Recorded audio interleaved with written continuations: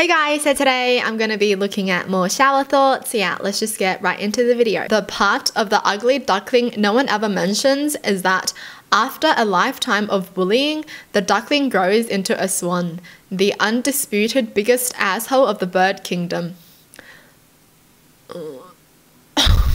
right.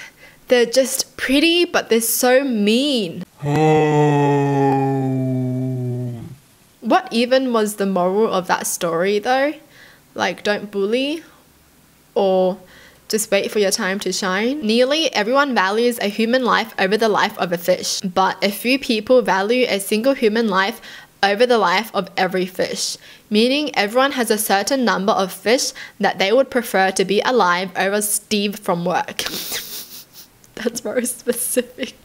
It's always a Steve. There's a chance that someone you will know will use your death as an excuse to get out of a social obligation they don't want to go to. Oh, everyone's grandmothers be like, mm, I didn't know I was dead. As an identical triplet, you are simultaneously one of the rarest and most common people on the planet. Oh, oh that's so true. It's very rare to have three people identical. But then it's very common because there's three of you. Interesting. I've always thought how cool it was to have a twin though. A guy walking around with one crowbar is more suspicious than a guy walking around with three crowbars. Yep. Hmm. Or the serial killers be like, huh. Your baby teeth are out there somewhere. Oh, wow. Haven't even thought about my baby teeth for like 10 years and more. What in the world? No, I think my grandpa has some of my baby teeth. I think I always gave it to him because, yeah, why did I do that? Why did he collect my baby teeth? I feel like a lot of people's parents collect their baby's teeth too, though. Like, is there a reason for that? Googling something truly is a skill. Some people are much better and faster at finding more accurate results than others. That's me. That's me. Okay, I am the queen of Googling. I always Google everything. Like, even if I know what something means, I'll Google it to be sure. I love Googling. Stories usually put horns on evil or scary creatures, but in nature, only herbivores have horns. What the heck? I've never thought about this before. That's so true. Wow. Imagine a freaking lion with a horn. Oh my gosh. Ew. Imagine an alligator with a horn. Oh my gosh, that's freaking scary. Hey, if they really did have horns, you can spot them all the time. But they're so freaking sneaky. The last kid to leave the school bus knows where everyone lives. Oh. oh. If anyone gets robbed, you know who. I'm kidding. A bus 10 minutes early is worse than a bus 10 minutes late. True. Never thought about this though, but so freaking true. It's always so embarrassing running for the freaking bus. I've done it like probably every single day when I was going to uni. And then you get on and everyone's just looking at you and you're just like, thanks. Beep. Both cheeks in our bodies has a big hole in between them. Oh. And the butthole, okay.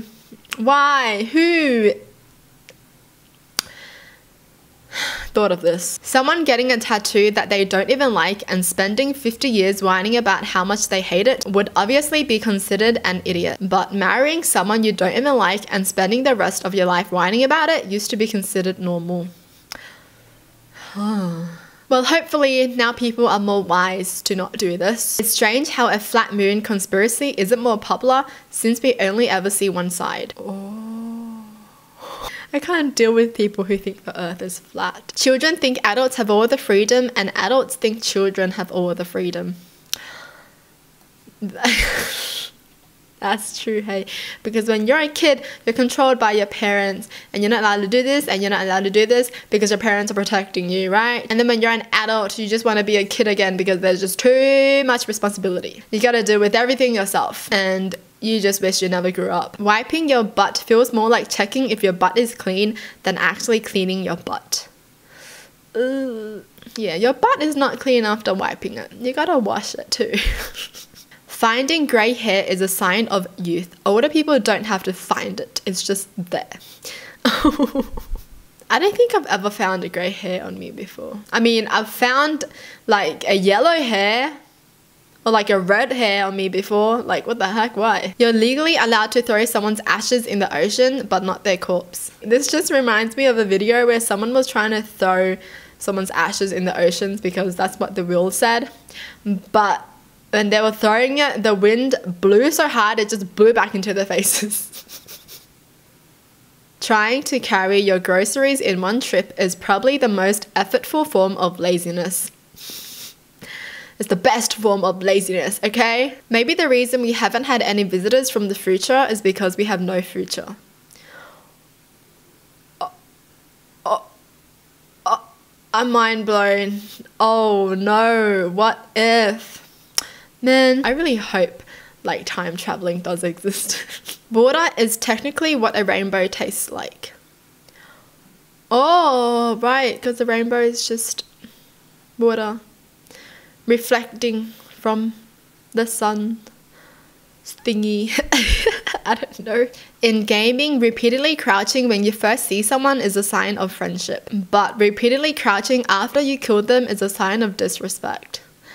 Oh, if you guys play first person shooter games, you would know about this. I freaking hate it when someone does this.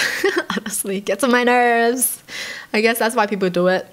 To get on your nerves. The gay flag is a rainbow. A rainbow is a curve. A curve is not straight. wow. Nice. Millennials are the panda generation. They're too depressed to have children, even though people want them to. Cool. I love pandas. Your childhood ends the day you realize that sleep is a reward and not a punishment. Sleep is just so freaking amazing, honestly. I love sleeping. Why did we be all whine when we had to go to sleep, honestly? Kid me is just so stupid. There are very good odds that you've never been naked for 24 hours straight in your life. Yeah, I've never. Who? Who would be, though?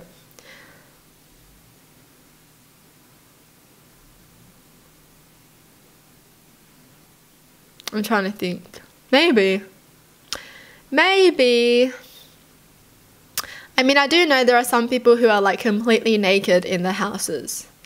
And I guess maybe on the weekend, if they don't feel like going anywhere, they just don't put on any clothes for like the entire day.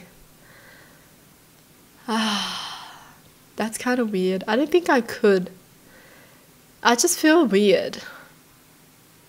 You know, being naked in your own house, even if there's no one there, it would just feel weird to me. like, oh, it's just weird, man. I guess in my mind, it just would always feel like someone's watching. That's freaking weird. Well, that's it for the video. Hope you guys enjoy. Tell me in the comments down below what your thoughts are. And as always, thanks for watching. Hope you guys liked it. And I'll see you guys next time. Bye.